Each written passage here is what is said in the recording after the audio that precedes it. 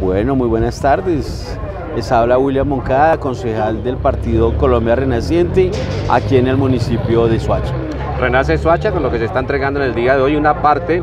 Encuentro el municipio en, eh, en estos días que estaban de protesta en el Guavio, municipio de Ubalá, y tiene Ubalá y Ubalá B. Los municipios deben ser uno solo. Aquí estaban divididos una parte hacia el, hacia el norte y otra hacia el sur. Por este puente de Micos estaban divididos en Suacha, concejal.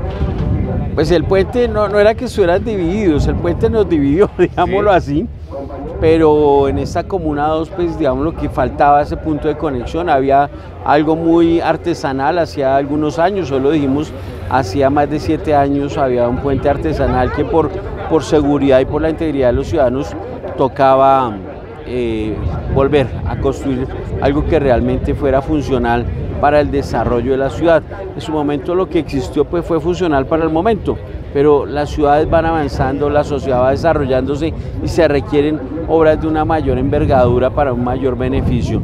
Entonces hoy este puente que, que hacía falta y que la, la, la, falencia del mismo pues dividía la comuna 2 eh, en dos partes como su merced lo cita, pues hoy es una realidad para los ciudadanos del municipio y que van a colaborar, va a colaborar esta obra con el desembotellamiento de la autopista sur, eh, previendo las obras de infraestructura que se vienen con base en eh, las etapas 2 y 3 de Transmilenio, así como el puente deprimido que piensan eh, iniciar a construir en el sector de Venecia, en Bogotá. Y también en Bosa Estación que debe tenerse. Esto va a conectar este puente Micos con la avenida Las Torres que nos lleva también hacia el epicentro de la localidad séptima de Bosa, estimado concejal. Claro que sí, esta fue una gran obra que se requería con urgencia. El alcalde Juan Carlos Saldarriaga ha sido muy hábil e inteligente desde que co comenzó su gobierno en el año 2020 y siempre planificó esto para conectar con Ciudad Verde y desde allí conectar por la vía de las Torres, bien sea con Bosa o directamente con Bosa San José o Bosa La Despensa para desembotellar por estos dos sectores la municipalidad de Suacha. Entonces, hábilmente y con una necesidad sentida, se requería esta obra con urgencia que hoy es una realidad para los habitantes del municipio. O sea que buen, con buen rumbo este Puente Micos, así como cuando usted habló de hace siete años que estuvo en Radio Rumbo, ¿no? Aquí con esta obra. Sí, hace siete años recuerdo que le decía yo al alcalde Eleazar González en su momento, cuando él manifestó que esta obra la sacaba en, cuatro meses y duraron siete años haciendo la obra.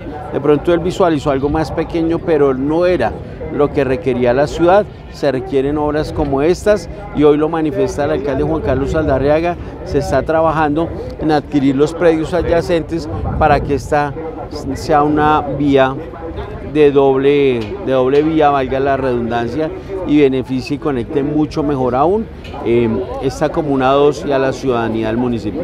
¿Energía que vamos a tener iluminación para este sector va a ser solamente en lo del puente o va a tener el antes y después del puente del hospital? Pues vamos trabajando, esto va a beneficiar y mejorará la seguridad en el sector de, del hospital Mario Gaitán Yanguas, entonces esperamos que no solamente esta, esta movilidad aquí mejore la seguridad en el sector, sino también el contorno y eso tiene que ver también con la parte eléctrica y la iluminación de las vías y el sector. Colombia Renaciente en el 2023, a puertas de elecciones, ¿cuál será ese futuro del partido concejal? Colombia Renaciente, un partido nuevo, ya lleva varios años aquí en, la, en el contexto político de lo nacional, partido que viene, como su nombre lo dice, creciendo, renovando, yo hablo de Suacha Renaciente.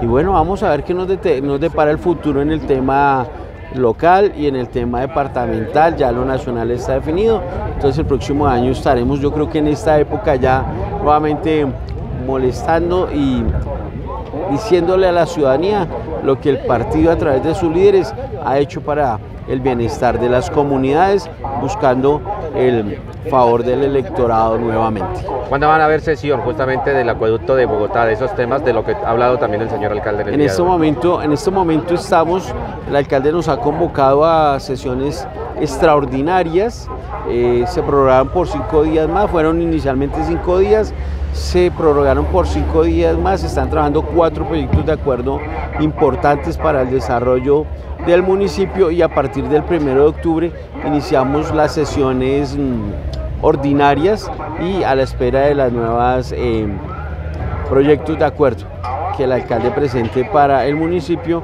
Y entre esos esperamos eh, los proyectos de acueducto y alcantarillado para las inversiones que requiere el municipio. Y de cierre, ¿cuándo comienzan a estudiar presupuesto? ¿El otro ya, próximo año? Eh, ahorita a inicios del mes de octubre debe ser radicado el proyecto de acuerdo del presupuesto del municipio para su aplicabilidad y vigencia del próximo año 2023 y tendrá que ser aprobado antes de finalizar el mes de noviembre si Dios permite.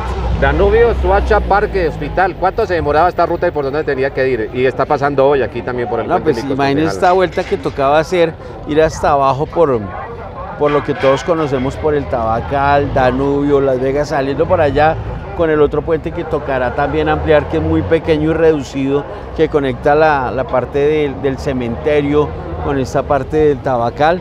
Pero bueno, era esa vuelta que tenía que dar. Hoy mire cómo ya la gente pasa más fluido, pero más sin embargo miren cómo este señor que acaba de pasar a altas velocidades con toda la comunidad que se encuentra en la vía y no respeta los límites de velocidad. Hay que colocarle esos límites y no sé si van a colocar eh, antecitos que hay que arreglarlo eh, y poder terminar esta vía. Belén, saludarlo, concejal. ¿Qué mensaje nos deja?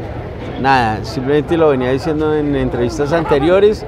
Primero hay que empezar a querer el municipio, tener sentido de pertenencia con el mismo y todo eso comienza con cosas simples como no tirar las colillas de cigarrillos, ni los papeles a la calle, ni los muebles, ni las camas, nada, cuidemos al municipio, esto es de todos, pero entre todos lo construimos y lo mantenemos.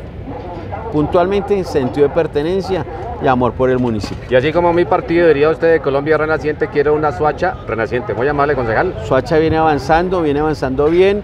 Todo esto gracias al esfuerzo de todos los ciudadanos que puntualmente pagan sus impuestos al municipio. Un buen día para todos y muchas gracias.